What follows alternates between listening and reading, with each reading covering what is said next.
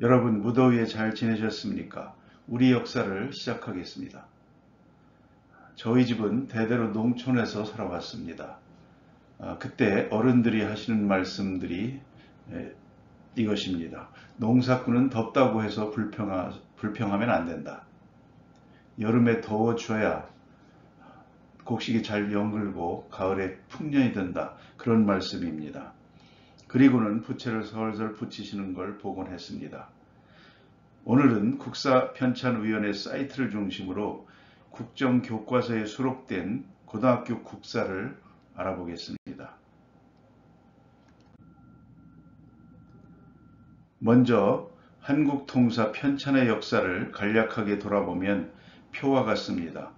어, 고려시대의 대표적인 역사서, 뭐 삼국사기는 통사는 아닙니다만 어, 일연의 삼국유사의 고조선 부여 사만에 대한 얘기가 나옵니다. 어, 권근의 동국사략에는 단군조선, 기자조선, 의만조선, 한사군, 이부, 사만체계로 되어 있습니다. 보면 부여, 옥저 등은 포함되지 예, 않고 있습니다. 조선에 넘어와서요. 초기에 동국 통감에도 어, 부여, 옥저, 동해는 빠져 있습니다. 어, 대신 우회기에 단군조선, 기자조선, 위만조선, 사군, 이부, 삼한 이런 체제로 되어 있습니다. 조선 후기에 와서 안정복의 동사 강목과 어, 지난 시간에 말씀드렸던 한치윤의 해동 역사를 대표적으로 볼 수 있는데요. 어, 동사 강목에서는 고조선, 기자조선, 삼한 이렇게 되어 있습니다. 해동 역사에서 비로소 예, 맥, 부여, 옥저, 사군 체제로 어, 포함되고 있습니다. 국사편찬위원회 우리 역사넷 사이트입니다. 어, 거기 보면 1895년 개화기 및 대한제국기부터 7차 어, 교육과정까지 그리고 그 이후에는 개정교육과정으로 오늘날까지 이어지는 것을 어, 볼 수가 있습니다.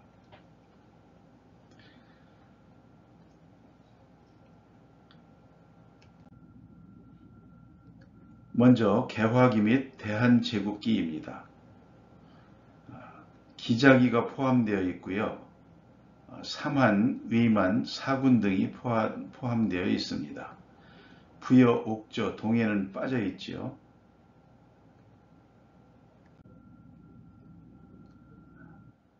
그 내용을 간략히 살펴보면요. 어, 단군기에는 단군의 조선 개국과 아들 부르에 대한 내용이 아, 기록되어 있습니다. 아래 큰 글씨 부분을 읽어보겠습니다. 단군은 이름인 왕거민이 혹은 왕험이라고도 한다. 우리나라에 처음에 군장이 없더니 신인이 있어 태백산 단목 아래에 내려오므로 국인들이 받들어 세워 임금으로 삼으니 호를 단군이라 하고 국호를 조선이라 하였다. 처음에 평양에 도읍하다가 뒤에 백악에 도읍하였다. 태백산은 지금 영변의 묘향산이고 백악은 지금 문화의 구월산이다. 어, 우리가 배워온 바 익숙한 문장들입니다.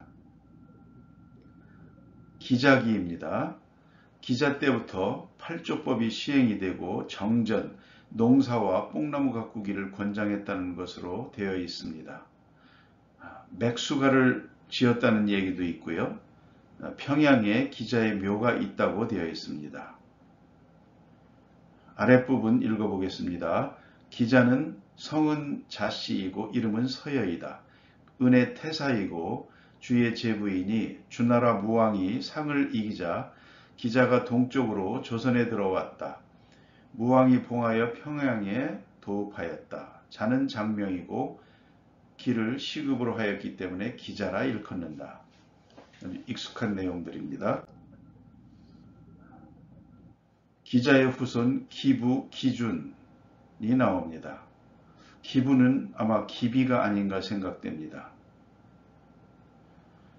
그리고 기부가 기자의 41대 손으로 되어 있는데 어, 청주환시 족보에 의하면 기준이 41대 손으로 되어 있습니다. 오른쪽 표는 어, 기자로부터 기후, 기욱, 기석, 기윤, 기비, 기준까지의 어, 계보에 대한 간략한 설명입니다.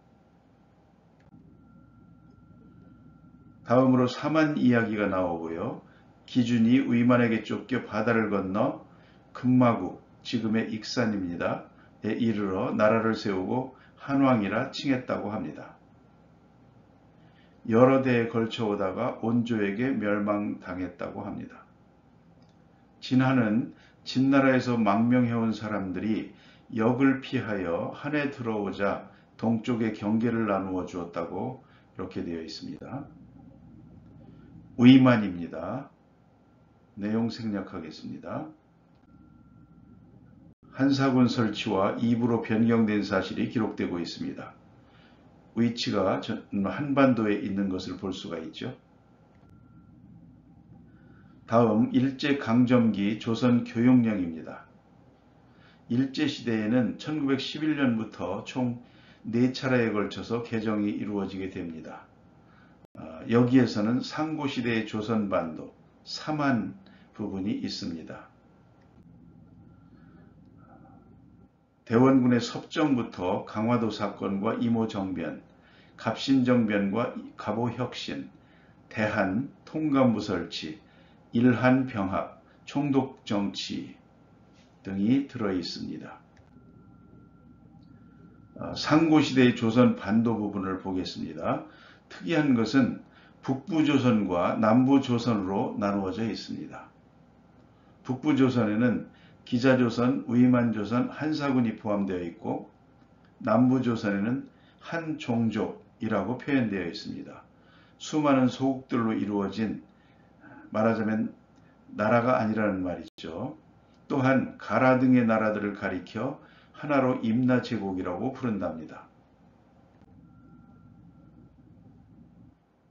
일본 아마테라스 오미카미의 동생 스사노가 그의 아들과 함께 조선에 건너왔다는 내용도 보입니다. 신라 제4대왕 석탈에는 일본에서 건너와서 왕위에 오른 사람이라고 되어 있습니다. 일본과 임나 제국의 관계도 기술되어 있습니다. 읽어보겠습니다. 이에 앞서 가라국은 신라와 다투었는데 스진천왕 때 일본에 도움을 청하였다. 그리하여 황후는 천왕의 유지를 이어 규슈를 평정하시고 이어서 곧 바다를 건너가 신라를 토벌하고 임나 제국을 보호하셨다. 뭐 이렇게 되어 있습니다. 왕인 박사 얘기도 있고요. 백제 성왕 때에 일본의 불교를 전한 얘기도 있습니다. 일본과 삼국의 관계가 기술되어 있는데 우리에게는 기쁘지 않은 내용들입니다. 어, 광개토대왕 때 백제와 신라가 일본의 힘을 의지하여 나라를 지킬 수 있었다고 되어 있습니다. 백제가 쇠퇴하자 일본의 도움으로 유지했다. 신라가 일본에 복속되었다는 얘기도 있고요. 이번에는 교수 참고서입니다. 아, 노란색 부분을 읽어보겠습니다. 본과에서는 조선반도의 연혁은 북부와 남부가 크게 다르다. 북부는 예로부터 중국에서 온 사람들이 통치했으며 따라서 중국의 속국 또는 영토였다는 사실을 남부는 곧 조선인의 조상인 한족의 거주지로서 이 지방은 일찍부터 일본과 밀접한 관계가 있었다는 사실을 가르쳐야 한다. 이리하여 주아이 천왕 제14대은 먼저 규슈를 평정하려고 친히 직접 정벌 하셨으며 진구 황후는 나아가 신라를 정복하여 임나 제국을 보호하고 평화를 유지하는 데 힘쓰셨다는 것을 알게 함으로써 심상소학, 일본 역사, 권일 제사, 진구 황후와 연결시켜야 합니다. 앞서 북부 조선과 남부 조선으로 나눈 이유가 어, 있습니다.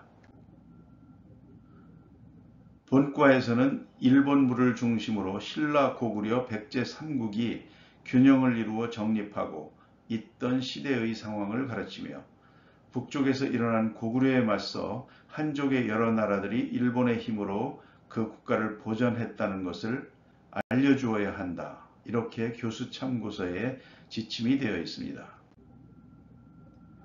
시대별 역사 교육에 포함된 국가를 비교해 보겠습니다. 조선시대나 개화기에 비해서 일제강점기에는 단군 조선 이야기가 빠져 있고요. 부여 등이 빠져 있고요. 오직 북쪽에 기자조선, 위만조선, 한사군, 남쪽에 삼한만을 가르치고 있습니다. 투두 리스트입니다. 상고시대의 선도 사관 문제, 유교 불교 도교적 사관, 성리학적 사대주의 사관, 중화주의 춘추 사관, 황국 사관, 식민 사관, 반도 사관. 우리가 극복할 어, 과제라고 생각됩니다. 다음 시간에 계속되겠습니다. 감사합니다.